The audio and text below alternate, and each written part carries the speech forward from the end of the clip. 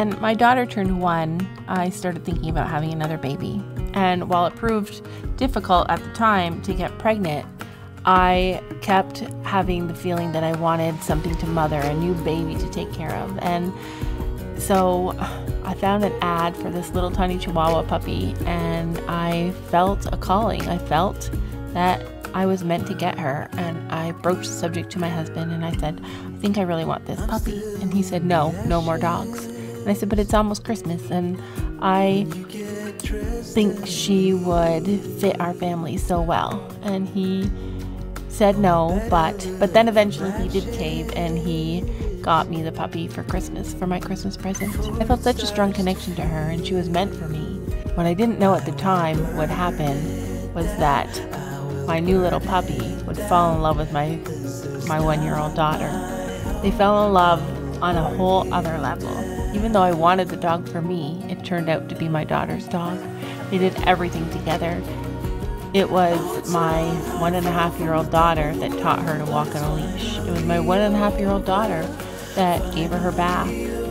First bath, actually, in the toilet with the door closed. And us walking in to find her, swishing her around in the toilet. It was her that grew on the slip and slide. It was her that walked her around the neighborhood. It was her that had matching dresses. It was her that dressed her up.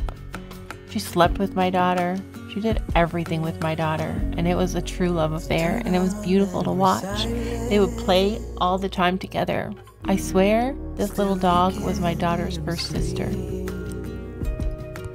They grew together so incredibly well, and it was such a match made in heaven. And then one day, as my daughter got older and older and older, and she got busier and busier and busier, and she went to school and she started to do things outside of our house.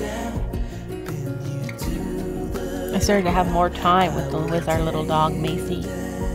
Macey was the best dog though. She loved everybody. She loved all of our dogs. She loved every person that ever came into our life. Everywhere we went, people said they were so shocked at how good she was. They always had such a bad idea of what a chihuahua was like until they met Macey. Once they met Macey, they couldn't believe she was just so loving and sweet and gentle and kind. I swear Macey was never a dog. She was she was a person. I could see a person inside that little girl.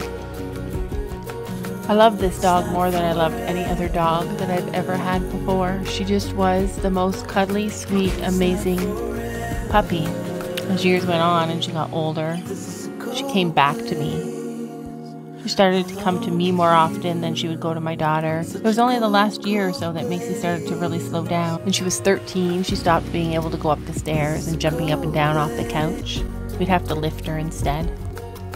Other than that, she remained in amazing shape and such good spirits. Other than her not being able to jump as much, you would never know that she was 13. That was until this last Christmas.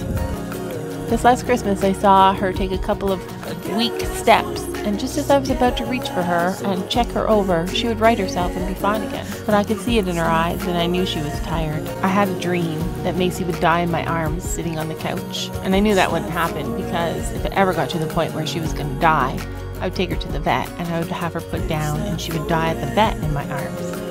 But it happened so suddenly and so fast. I wasn't truly expecting it, but I wasn't surprised at the same time. Everything seemed okay, and we went out in the morning. But by the time we came back early in the afternoon, and I let Macey outside to have a pee, she stumbled. So I picked her up, brought her in, wrapped her in a blanket because you know Chihuahuas, they're always cold, cuddled her close to my body.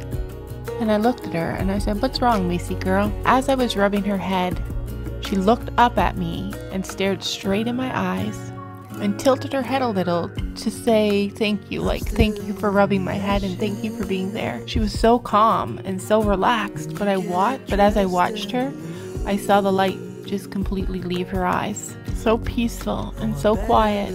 She just left. I'm so glad she waited for me. I'm so glad that I got to be with her. And in the end, she died in my arms, snuggled up tight and close to me on my couch. I truly believe everything happens for a reason. I'm so glad we got to be her family. We had 14 years of the best life with her. I'm so grateful that we all got to know her and she touched our lives, all of our lives, in ways that only a little dog can. Goodbye, Macey girl. We love you so much. We will see you again one day. We miss you. Don't you know that you're beautiful?